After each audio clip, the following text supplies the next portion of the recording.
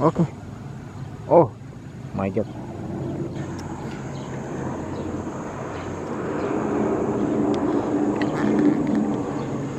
Jadi pesawat Lion Air tadi kayaknya masih dia berputar di atas ya.